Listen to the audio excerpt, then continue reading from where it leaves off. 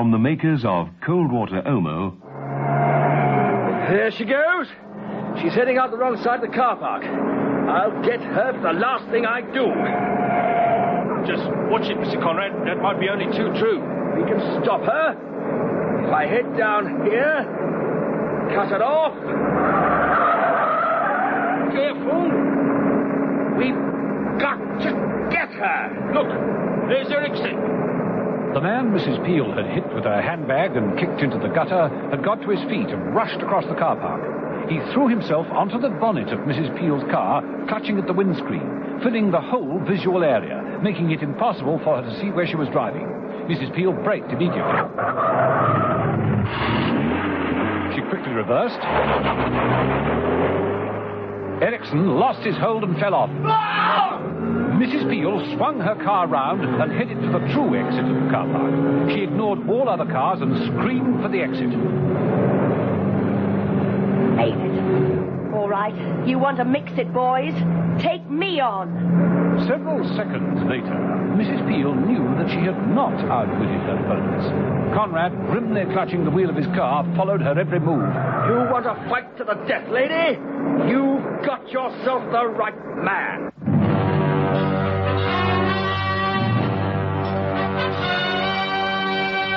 The Avengers.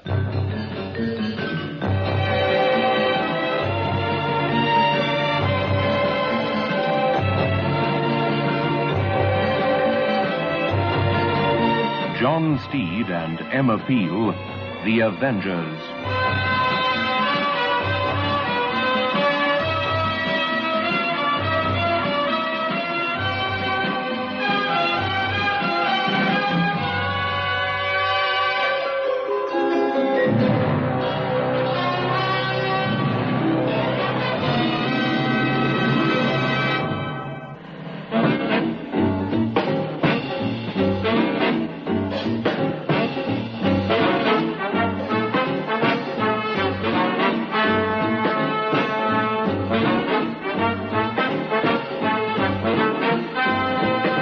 Episode 2 of this story, in which John Steed investigates the activities of an old school friend, and Emma Peel proves to him that as far as all types of small armaments are concerned, she can shoot.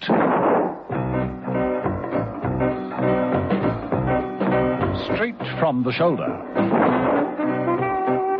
As usual, at the beginning of any case, John Steed and Mrs. Peel didn't know what they were up against. Steed, very interested in the firing of small arms and the science of ballistics, had been baffled by the appearance of a bullet found in a dead body. He thought it must have been fired from a recently designed and top secret rifle. He'd gone to visit an old friend, Colonel Aristides, leaving Mrs. Peel to follow through on the identification of the bullet. She'd taken it to the ballistics center at Shrivenham, and upon leaving had run into big trouble. One man had accosted her, and another two were after her in a very powerful car. But Mrs. Peel, as always, had a trick or two up her sleeve. She made the exit from the car park just in time. She headed to the open country, the two men in pursuit. Careful, Mr. Conrad. This car twice as powerful as that little thing she's driving. On the open road, she doesn't stand a chance. Hold on. Here we go. Mrs. Peel, a careful eye on the road and quick glances in the driving mirror, could see what the idea was. Conrad would overtake and squeeze her off the road. The distance between the two cars grew less. Mrs. Peel's gloved hand worked the gear stick. She swung her car round and made a sharp turn down a side road. Conrad followed, just making it in time. He saw the main road coming up again and accelerated, trying to draw alongside. Mrs. Peel grinned to herself and let him get nearer. When the main road came up, she swung across it, neatly cutting the corner right across Conrad's path. Conrad was forced to brake in order to avoid a collision. He lost control, the car skidded. Mrs. Peel winced as she looked back to see it angle crazily and end up in a ditch. The man Jackson hit the windscreen. Conrad managed to get out unharmed. He looked after Mrs. Peel, pure hatred on his face. Mrs. Peel stretched up an elegantly gloved hand and waved farewell. Then she put her foot down.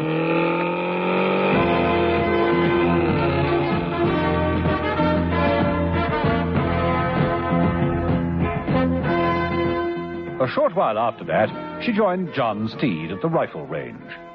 Steed carried four or five revolvers and an automatic rifle. Like a Mexican bandit, Steed. What, an Ebola? Hmm. Well, I suppose the idea could take on. You've got the ammunition? Yes. Lead on. Of course, Whitehall's in a terrible state. Mother's never off the phone. Mother never is. Is it about Bullet from the FF-70? Not so loud. It's the Army's top secret weapon. Oh, so I gathered from Shrivenham. How the devil did that man get himself killed by an FF-70? First of all, I know, someone blasted one off at him. Without permission? Where are they made? Factory in Surrey. Place is top security. Oh, that's where they must have got the rifle from. That's right. Could have been stolen, I suppose. They're on to us already, Steed. They tried to get the bullet back. Oh? When? When I left the ballistics center. Three men, two in a black saloon car.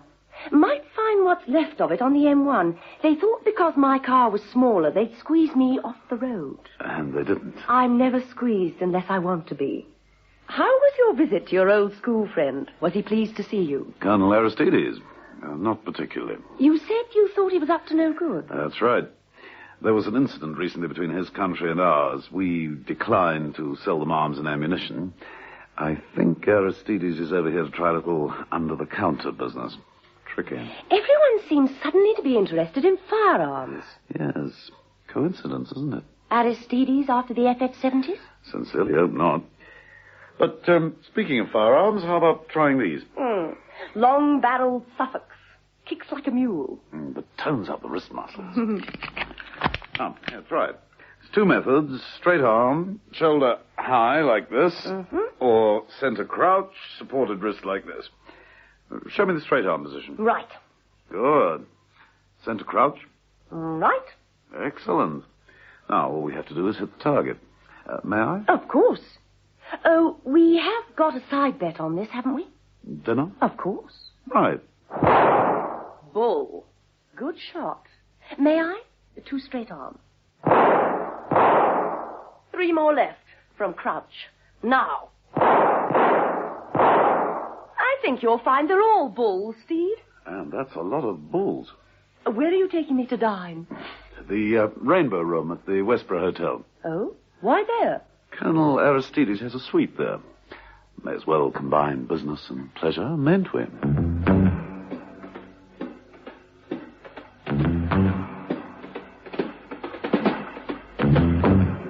Steed would have been very interested if he could have looked into the Colonel's suite later that day, for he had visitors. Adriana Beardsley and Conrad sat eyeing the large, dumb mute Giles. Is he to be trusted? Are your own companions always to be trusted? Conrad is very close to me. And Giles cannot talk, even if he wanted to. Good. Oh, I'm glad you returned to England in the autumn, Colonel. I think it's the loveliest season. Stokely House will be at its best for you. The shooting's magnificent, of course. Of course. There are a lot of good weapons on the free market these days. Oh, all either second-hand or obsolete. Uh, do you think we might have a window open? I, I find town so stifling. Conrad? Of course. Uh, what is your best, Lady Beardsley? Something to stop a man at 700 yards. A modern rifle? So modern that it's not yet been issued. The, the FF-70? I've already said too much. How many have you got? I've said far too much. Please. How many? How many, Conrad? Uh, Three thousand. Ah, splendid. And uh, what are you asking? Oh, oh, that's not settled yet. I will give you a good price. You need them very badly, Colonel Aristides. I know. Your, um, relationship with the president of your country is far from good. But we'll talk of this later. I really must go now. I, I promised to feed the peacocks at Stokely myself tonight. Let me see you downstairs. Oh, how kind, Colonel. The Colonel showed Lady Beardsley out. Conrad and Giles exchanged angry glances. There was a slight struggle for precedence, and Conrad pushed his way through the door. Down in the hotel lobby, Mrs. Peel sat reading the evening paper, at least giving the appearance of reading the paper. When Lady Beardsley's party moved out of the lifts, she whispered to Steed. That young man following up the party. With Aristides, you mean? What about him? He was the dangerous driver of earlier on. Ah, that confirms it. They're all in it together.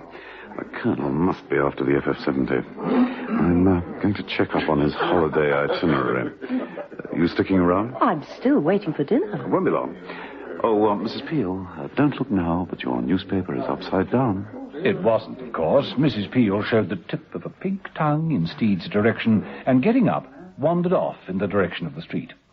Lady Beardsley's limousine was waiting at the curb. I believe your president has only 50 ex-Indian Army rifles, Colonel. Inaccurate at 10 yards. and likely to blow up in your face, Lady Beardsley. that shouldn't be hard to beat. Thank you, Conrad. Will you drive? Of course. Only. What is it? Something wrong? Conrad, who had been about to open the door, saw Mrs. Peel's reflection in one of the rear mirrors on the car's wing. Mrs. Peel sensed this and re-entered the hotel. Too late, Mrs. Peel. That girl's in the hotel. Girl? What girl? Uh, the one who collected the bullet and got away in that car. What a busy little bee she is. Um, shall I go back? No. No, Conrad. She's found us once. She'll no doubt find us again. Let her come to us. And when she does, well, you'll know how to deal with her, won't you? A nice young woman dying will be a change, won't it? Goodbye, Colonel. We shall expect you at Stokely House in the morning. Until then.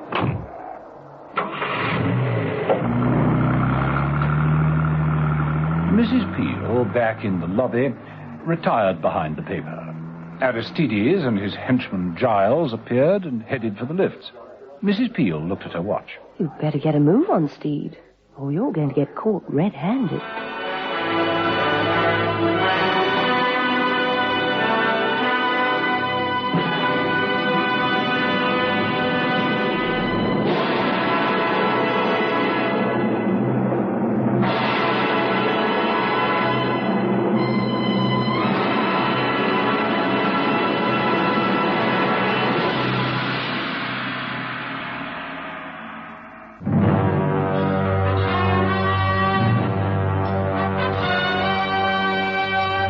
Avengers.